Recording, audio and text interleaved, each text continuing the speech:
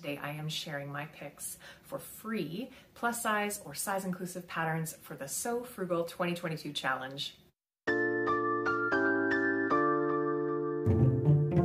Hi, my name is Megan. I live in Calgary, Alberta, Canada, and if you've never been to my channel before, welcome. Today I'm going to be sharing my picks for the hashtag Sew Frugal 2022 challenge.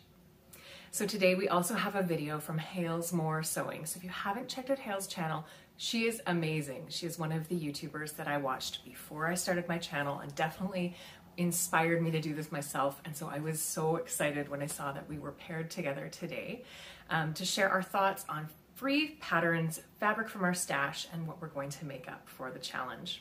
I'd also like to thank Sam and Ruan from Frugalisama and the Yorkshire Sew Girl for doing all of the amazing work to organize this challenge, coordinate the sponsors and the prizes, create the schedule of video content creators, and just keep everybody on the wheels. They were the brainchilds behind this challenge. Last year, they had the Frugal Frocks Challenge, which was super interesting to watch, and I really enjoyed it.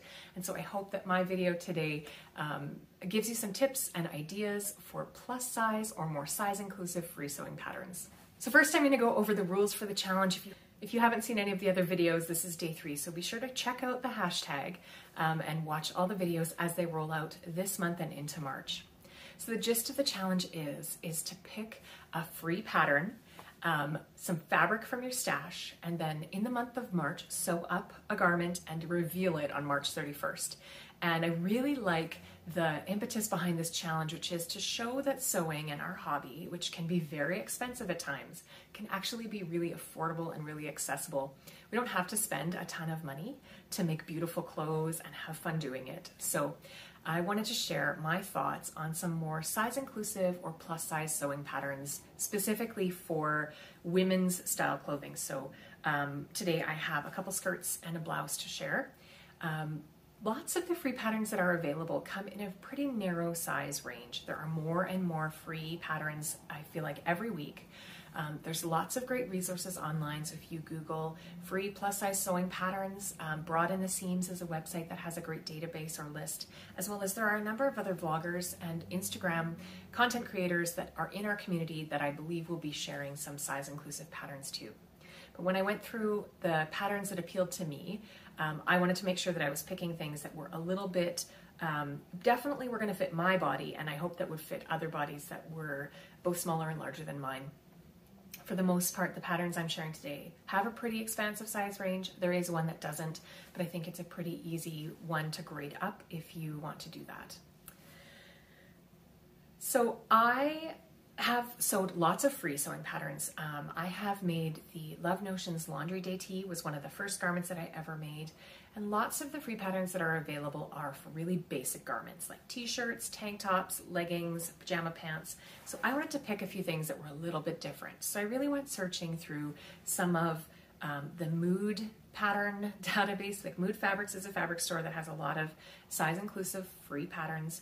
Um, they were a bit more avant-garde than I sort of wanted to approach with this challenge, but they have so many really cool coats and gowns and dresses, so worth a look there. There's also lots of free sewing patterns um, from fabric.com and from all of the other uh, Facebook sewing groups. But again, I wanted to try a few different things that were different. And I also wanted to think about the fabric that I have in my stash that I'd like to use.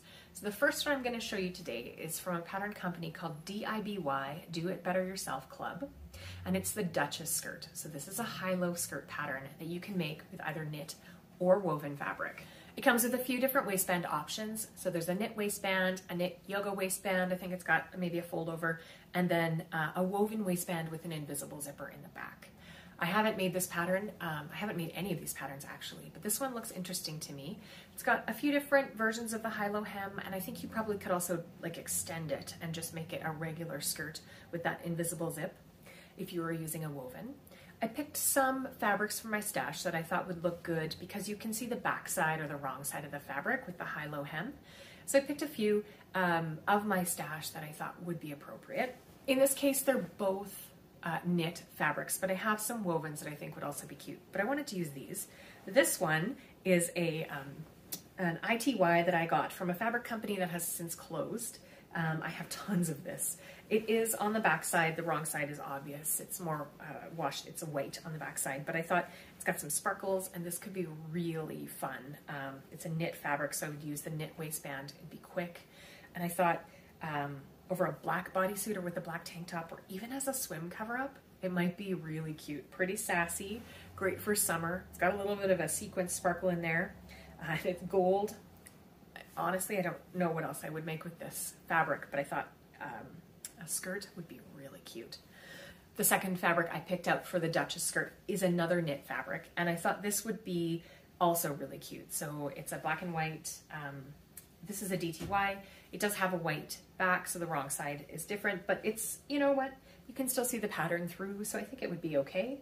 Um, it's a really classic paisley, and I thought this would be really sharp with, you know, a solid colored tee, a black t-shirt or tank top. Again, a really dramatic print skirt. It's got a really nice drape to it. So I thought, thinking ahead to summer, this could be kind of fun. Um, it's not quite as jazzy as the one with the gold and the sequence, but it is it's a bold print and I really liked that. So I thought this this would make a great Duchess skirt. So this pattern goes up to a size uh, double zero to 36 is what it says in the listing. But then when I look at the size chart, their sizes are numbered differently. But it goes to a 63 inch waist, which is the key measurement on the skirt. And I think that's pretty inclusive. So definitely give it a try. Uh, if you've made this one, let me know in the comments below. I often find myself buying the sewing magazines that are imported from the UK when I'm at the specialty newsstand or at the chapters or Indigo and that includes Simply Sewing, Sew Magazine, Love Sewing Magazine, some of the other ones. They always include a big four pattern, um, but they can be quite expensive. Those magazines are usually about $20 each by the time they come to Canada, and they're often, we're often like four to six months behind. So the Christmas issues are coming out just as soon as everybody wants to get into their shorts and bathing suits. But those magazines also include a wealth of sewing patterns that often you can download the pattern off of their website, and the instructions are either in the magazine or sometimes they're available with the pattern itself. So I have two patterns to share today from Sew Magazine, and I'll include links to these and all of the patterns I'm talking about in the description box below. So the first one is a pullover sweatshirt. It's sort of like a uh, nautical vibes I'm getting from it. Um, this one has a more limited size range. So this one comes um, up to a UK size 24, which is a 46 and a half inch bust and a 48 and a half inch hip. Right now, my hip measurement exceeds that. My hip measurement is at about 51, 52 inches. But this is a sweatshirt, and I think it would hit at the high hip and there would be enough ease. I've also graded out sweatshirt patterns. It's just quite straight cut, really straightforward. What I like about this one, it has a V, interesting V neckline and a facing, which I think would be fun to sew. And then a drawstring back um, without a hood. So I liked the looks of this one. I have two different fabrics that I picked out from my stash that I thought would work really well for this. The first one is this um, sort of tie-dyed French terry fabric that I got from Blended Thread Fabrics a couple years ago. I bought this uh, to make a sweatshirt for my daughter, which I made, but I bought tons of it. And I thought it, um, maybe mom could have a, a sweatshirt too thought it was really beachy and casual, and I thought it worked well with the vibe of that that pullover, um, the Olivia sweatshirt. It, I, I, thought it could be really fun, and I could look for a woven um, in one of these colors, a woven twill tape, or even just use bias tape, like store-bought bias tape. I have a lime green. I think would look really nice as that drawstring, so that's an option. The next option is a super frugal one because this is actually fabric I got for free um, from my mom's fabric stash that she had. I'm sure she bought this when I was a child, so probably sometime in the late 80s, maybe the early 90s. Um, and I dug it out of a trunk in the basement. This is, um, I think this is an interlock because of the way it looks, um, or maybe it's uh, a really lightweight sweatshirting, but it's got a nice, nice enough stretch, um, and it's this pink floral. And so I also thought, you know, it's lightweight, I love I love a floral. I thought that I could use this frugal fabric that is um, from my mom's fabric stash that I inherited and make a free pattern and that would be double frugal double frugal for this challenge. So that could be kind of fun. The other pattern that I really liked from Sew Magazine was in their Sew Plus section of free patterns. So I think that means an expanded size range, but I wasn't totally sure. Um, and it is a pussy bow blouse from the Great British Sewing Bee. I love a pussy bow blouse. I love the retro vibes on it. It goes up to, um, it's a sizes 8 to 20, but then 20 has a 53 inch bust and a 54 inch hip. Um, so I don't know if that's a finished measurement. That, that's the funny thing about those sewing magazine patterns is sometimes their sizing is a, a little bit strange.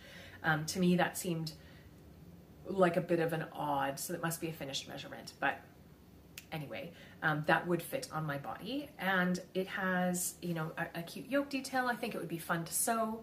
Um, it's got a real retro vibe to it, and I really liked that. So I picked out two different woven fabrics from my stash that I could try that pattern in. These are both from Fabricland. So this is um, a red Tencel look uh, rayon. So it's got that nice, it's super soft, really drapey, quite dreamy. It's really um, wrinkled because it was in my fabric stash, uh, folded on the shelf, but I thought that would would be gorgeous. It's just got that sheen. I thought it was really giving me sort of that sand washed silk vibe from the 80s and 90s. Um, I know I for sure had some blouses like that, and so did my mom, and um, that would be really cute. And the other one is also red, uh, and this would be a really retro looking um, red and white polka dot. This is a rayon challis. Would make a lovely blouse, I think. I just would drape nicely. The tie would be beautiful. So those are some options if I was going to make the Pussy Bow blouse from Sew Magazine. Another sewing magazine that is available uh, to purchase, but it's an American magazine, is called Sew Daily. And I feel like I hit the jackpot when I was looking at patterns on Sew Daily because I found two downloadable ebooks essentially um, called Sew Quick and Easy. So there's volume one and volume two. And in volume two, which was released in 2021, the patterns have an incredible size range. So they go up to a size 34, which is a 57.5 inch bust and a 60 inch hip. So I feel like that's pretty good.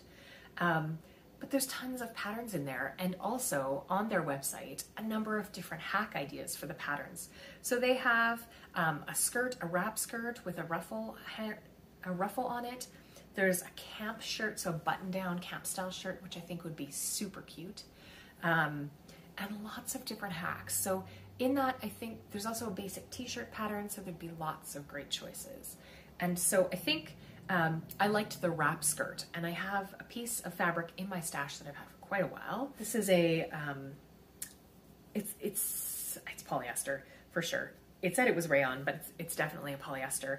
Um, just a, a cut of this fabric. It's got this really cool mod floral on it. I thought it would make a really great wrap skirt, and then I liked the ruffled tier on the skirt. I just thought it was something different and this would look really nice. Like it's a bold print, but it also would look quite interesting, I think, gathered along the hem. Um, so yeah, that's an option for this one. I thought it would be super cute. Um, if I had any of a crisper cotton poplin, I would definitely make that camp shirt. I don't have any of that in my stash though, but if you do, um, that might be an option for you, like a crisp cotton or a really crisp linen. All of the linens that I have are really like a really soft viscose blend and I don't think that would hold the shape for the collar quite as nicely. But again, like I feel like I hit the jackpot with those pattern books. They've got, they're great downloadable free magazines, um, tons of patterns. If you listen to the Sew News podcast, it's the hosts have written a lot of the articles because they work for Sew Daily magazine. So quite enjoyable to read, lots of great tips and ideas. So absolutely check those out. And it was really nice to see, quite refreshing to see that larger size, more inclusive size band represented in that magazine because quite often I'll download a free, you know, free sewing ebook and the pattern sizes stop at like, uh, you know, a 46 inch or a 44 inch hip that, doesn't get quite as far as I need it to. Anyway, those are my ideas. I would love to know um, if you're planning on participating. So the big reveal is March 31st. I'm going to make one of these garments, um, and you know, let me know which one you think I should make. Um, I look forward to hearing your thoughts. If you're going to participate, make sure you check out all the other videos, and especially the ones from Ruan and Sam. Uh, to get the lowdown on the, all of the prizes and the sponsors and the rules for the challenge um, and who you need to tag on Instagram and I will see you soon.